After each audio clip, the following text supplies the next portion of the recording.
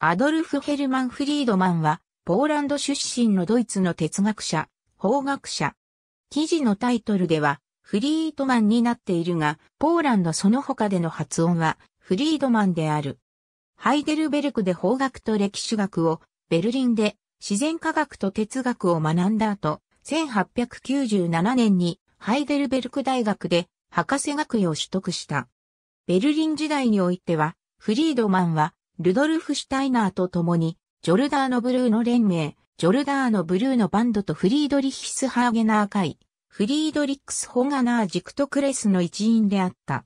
そこでフリードマンは、ブルノビレとビルヘルム・ベルセと交友関係にあった。1898年から1902年にかけて、フリードマンはバーゼルの弁護士として活躍した。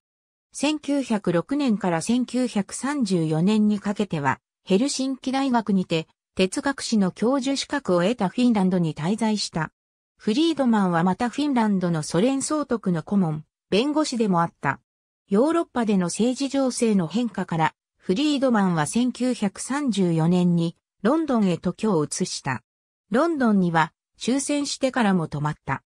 フリードマンはロンドンのドイツペンクラブの設立に関与し、1946年からはその代表となった。1950年にフリードマンはハイデルベルク大学名誉教授の称号を受け、ハイデルベルク大学で国際法と自然法の教鞭を取った。1951年にドイツペンクラブの名誉会長になった。フリードマンは20世紀におけるドイツ文学に関して数多くの著作を残している。ありがとうございます。